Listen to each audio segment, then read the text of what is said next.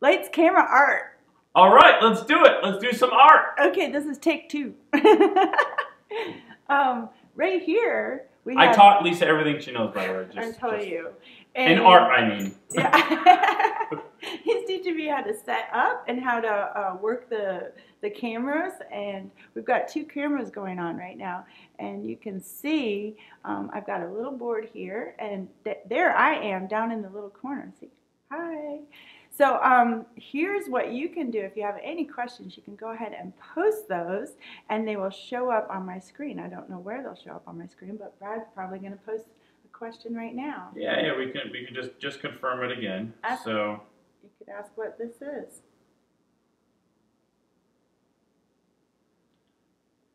Here we are. what is that you're holding up?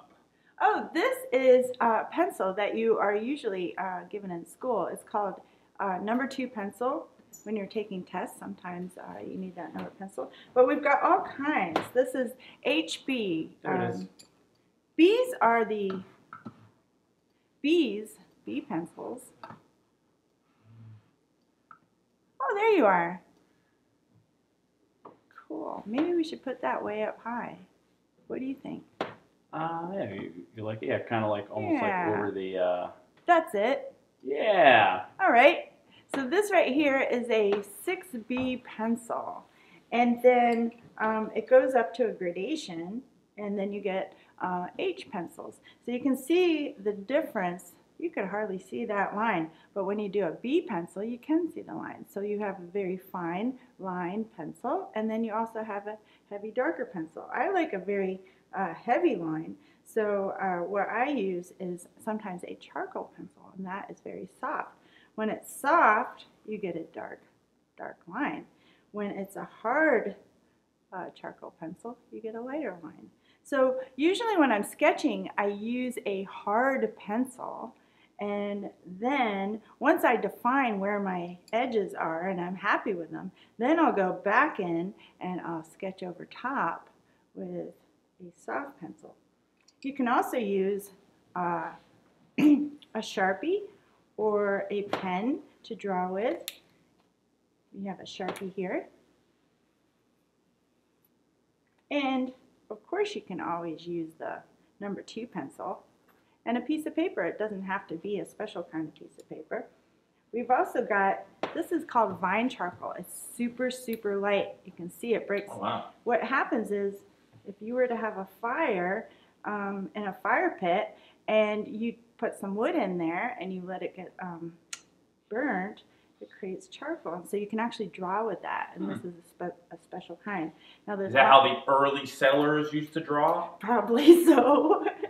they probably did. And even in the cave drawings, I'm sure they did that You too. should do like a making papyrus uh, class or something. Making papyrus, cool. And you can see you get a nice line there. Oh wow, that's that's the same little uh, stick. Yeah, that's the same little cool. stick. And then you've also got, um, this is a really neat tool. This is a piece of paper that's been wound and wound and wound, and you can use that to kind of do your blending. See how that works? Do, do you blending? make that or do you buy that? You can buy that, but you could also make it, just wrap it around. I'm saying like that one. Did, did you make or buy that one? Oh, I bought. I bought. I was gonna this say that, that looks like pretty uh, yeah, that's pretty. pretty uniform. Yeah. So it's then basically you're almost like it's not an eraser, but it's just it's you're smudging it.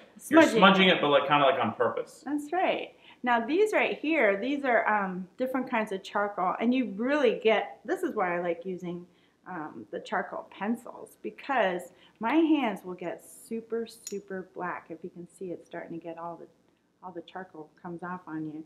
So this is a hard one, which means you get a, a fine line. Fine line that, and then you have your soft one, and you get a darker line. So you can see the difference. If you start off sketching with your hard line, then you can hardly see the line at all, which is pretty good. But then once you define which line it is that's perfect, that's where you push it down and you decide that's the right one. So here's another version of the um, blending tool. You just go ahead and blend. Now if you don't have one of these, you can also take a paper towel and use that as a tool. So really, you can push things around with a paper towel. It doesn't have to be something that you buy. You can make things at your house. these things right here, everybody knows what that is. If you make a mistake, it's called an eraser. So you all know how to use an eraser probably. You've probably made a mistake once or twice in your life. And then we have this thing, which is a gummy eraser. It's really kind of cool. What, uh, what it is, is it's just like gum. You remember you get a piece of gum and you tear it up. And then this kind of gummy eraser, that also does blending, but it also uh, works as an eraser. And you can get nice tight lines in there. Uh, maybe a solid one would work. Now, you can also get uh, charcoal that is actually white that would cover up areas. And the neat thing about that is if you use um, a uh, not white piece of paper, but an off-white piece of paper, it'll stand right up on top of that. And then the, oh. isn't that neat? And then the great thing is you come into color. So these are called Conte crayons. And really, what are they called? Conte crayons. Conte. Conte. So it's kind of like compressed charcoal. So you get a fat line there, or you can get a thin line. So these are kind of the tools that I use. Um, this is also I use as a blending tool. This is kind of for makeup. It's a cosmetic um, kind of sponge, and you can kind of move things around with that. So all kinds of areas to get a nice blending. Anyway, that's a pretty quick lesson on all the materials. Cool. Well, How, how are we going to the split screen there? Split screen. Yeah, there we Oh, go. there we- Split. Oh, is Uh, that not split? Oh, number two. Number two. number two. Yeah. There All right, here we are. Okay. Yeah. All right. So uh, yeah. So hey, if you're watching right now, still make a little comment on how uh, how you like this little art lesson from Lisa. So I see we have a few people that have uh, put a little heart in. Aw, so, thank so you can see the little uh, up on top there. It tells Thank you. you for it doesn't tell you who did that. It just tells you that someone did it. So someone appreciates you, Lisa. Oh, that's awesome. Look, and then a couple more people just jumped on. So you can see the little number there, the four. Hey, hi guys. Hi So everybody. uh, well, that's t- tell us who you are and where you're watching from. so uh, so that way we know. So we know who, who's watching. yeah, so I'm probably going to be working on some uh, practice sessions, and um, Brad that I do um, a couple of demonstrations that would be, you know, on YouTube or on Facebook, and I'll have those practiced all all throughout the week, and we'll see how this turns out. But it's kind of neat that, um, oh look, Audrey Peabody, hello, thank you. Um, but I think this will be really exciting. It's nice to see your faces. It's nice to see someone's watching. anyway, um, thanks, Brad.